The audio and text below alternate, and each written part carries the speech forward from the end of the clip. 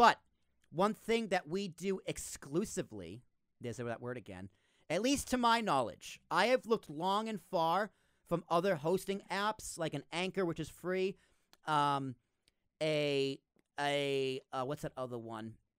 Um, God, it's blanking on me. I'm not doing this on purpose. Like a transistor, uh, the green one. Um, God, this is really annoying. I can't remember the name of them. My friend uses it. Spreaker. Spreaker's one of them. Um, they all offer different things in terms of distribution, but none of them offer posting one piece of audio to multiple RSS feeds. That is something we here at Ambiguous Podcast Solution separates us from everyone else. Once our app is finished and out there, you can have what is called a network feed. That network feed is all of your content. So I'm going to give an example for Talking with Tarashuk. I'm going to give an example for realtors and uh, um, a example for a sports network, like an ESPN. ESPN should do this. So let's go. With, let's go. With, let's go with the realtor first. So say you run a realty agency in here in Montclair, um, like Red House Realty. You would have one RSS feed with all of your realtors. So I am a realtor. Christian is a realtor, and his cousin Greg is also a realtor and they each have properties. You know, in the previous example, um, in a previous episode, I gave why realtors should have podcasts because this example for them to show the property, videos, this, that, and the other, etc., etc. Now, those all need to live somewhere. So you're going to have the network feed, which is the big bubble, Red House Realty, which is going to have Greg's episodes. It's going to have my episodes. It's going to have Christian's episodes. It's going to have Catherine's episodes, all in one feed distributed everywhere right? So anyone who's interested in just that realty and wants to find a realtor can go and listen to those podcasts and find a realtor they want to work with. But also, I'm going to have my own feed. Christian is going to have his own feed. Catherine's going to have his own feed. And Greg is going to have his own feed. So on Spotify, when you type in Red Roof Realty, you're going to get a the main feed, which is all of our podcasts. You're going to get a feed for me, which is just my podcast and my listings. You're going to get a feed for Christian, which is which is all of his listings, and etc. etc. Now, the purpose of this is to not not spam, but one feed with too many episodes can be very confusing. Whereas all of my properties are much more organized. And if I am selling to a family and they want to suggest me personally, they can send them to um, the feed, my feed, and say, here's here's Will's properties. Or if I do a bad job, but they found a house and they go, you know, Will wasn't that great, but the realty gave really good discounts and rates and mortgages rates. Here's the feed to the entire agency. Ignore Will's episodes. Look at Christian's. Look at Catherine's. That is a business tool you can do. Now, you can technically do that right now with podcasting apps, but for Anchor, you would need four accounts on Anchor. You need to log in and out of four different accounts. For Spreaker, same thing. Four different charges. For um, the green one, Libsyn. That's it, Libsyn.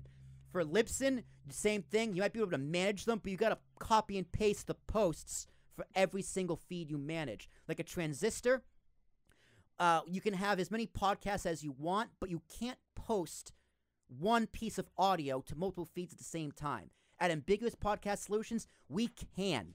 So your your actual home like page is going to be upload your audio, put the title, the description, the um the artwork categories, but also a little a little box that podcasts that are associated with your account. So me as a podcaster, I would upload my audio. It would go to Red Roof Realty. Check. It would go to talking with. Uh, it would go to Will Tarashuk Realty. Check. When I hit submit, that one piece of audio goes to two listings on iTunes, two listings on Spotify, two listings on Google, two listings on Stitcher at the exact same time. That's huge. That is a huge networking opportunity that you can do for your business. And as far as I know, we are going to be the only platform that can actually do it. Not just realty. You can copy and paste this for anything. So take Talking with Tarashuk.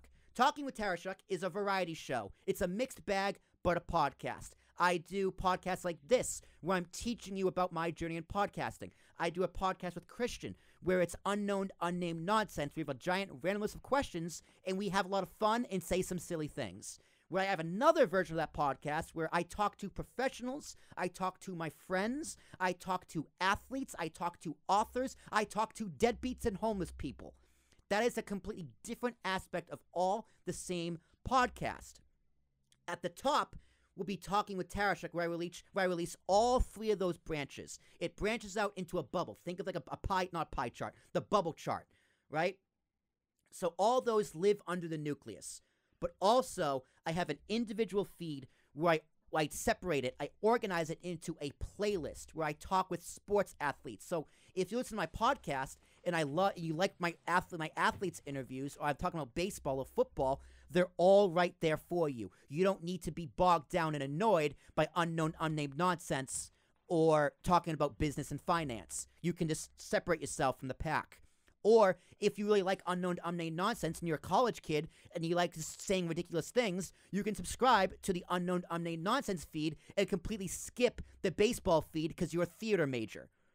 So the, the, the point the point of this is it is a way for you as a podcaster to organize your content like a YouTube playlist, and it's also an opportunity for your audience to pick and choose their path at what they want to listen to.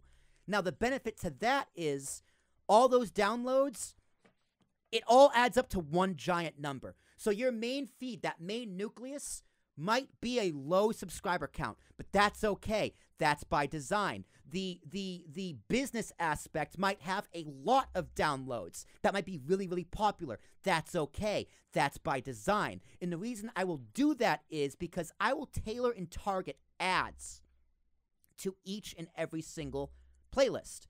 So, say for the Talk with Tarashuk, the main feed, say it has 10,000 downloads a month, right? Those are people who listen to every single one of my verticals. They subscribe and like every single one of the bubbles.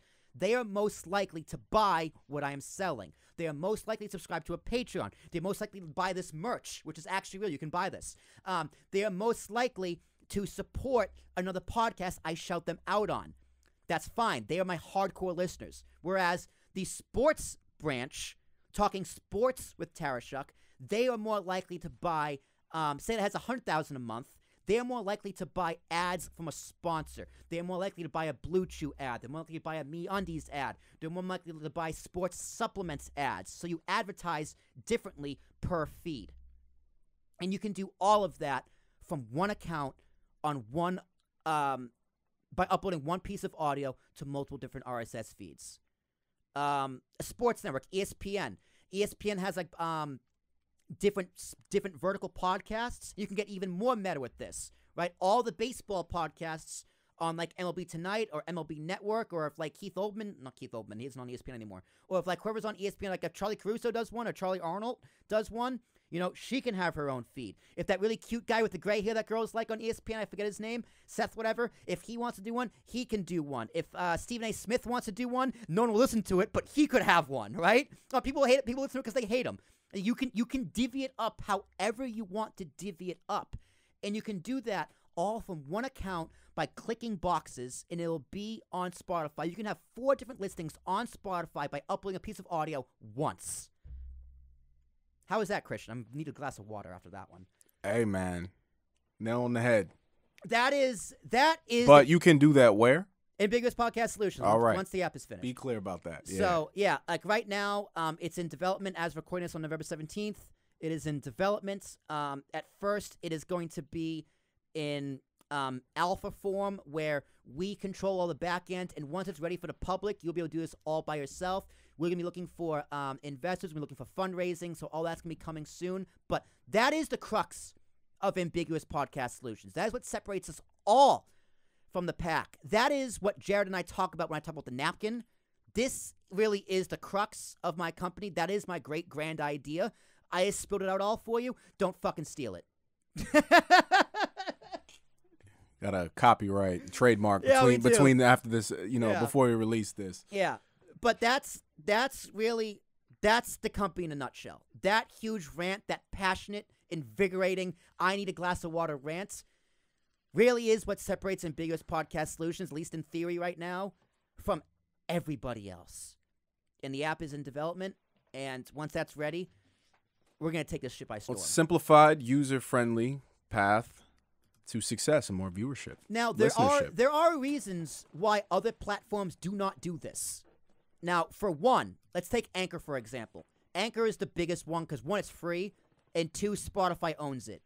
Now, how it makes sense for their business model is they don't allow you to post to multiple feeds at once. I'm assuming this is a guess now. I don't work there. I don't know anyone who works there. This is me just pontificating. Um, it's because they get money off of number of users on the platform, number of accounts created.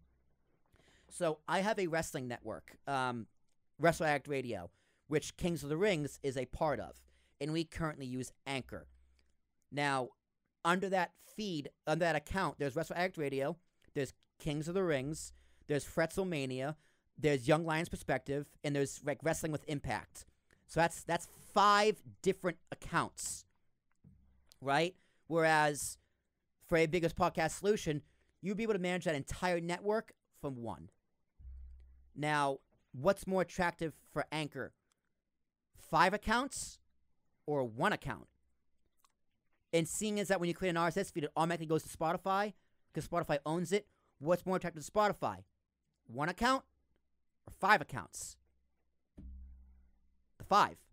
It's a little more annoying on the consumer. It's a little more work, but It's a it- strategy. it's a strategy. It makes more sense for their business model. I am banking on um the consumer. I'm banking on the podcaster. I'm banking on the people more than just the strategy of corporations so I don't fully think understand podcasting the way I do at least. I just I think my philosophy is much better because I thought of it, obviously. But no bias. yeah, a little bias. But I, I think that's why all these platforms don't do what I thought of. And maybe I'm wrong. Maybe they see something I don't. But I'm I'm putting it all on black on that one. Yeah, I'm betting the house. I'm betting I'm betting Red Roof Realty on that one.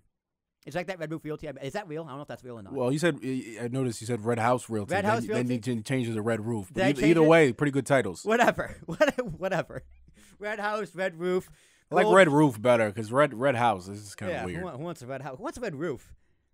I mean, a lot of houses in Florida But yeah, so that that is more orange. I guess that is my whole philosophy on multiple feeds, multiple RSS feeds, um, in doing it from one account. Because think about it, man.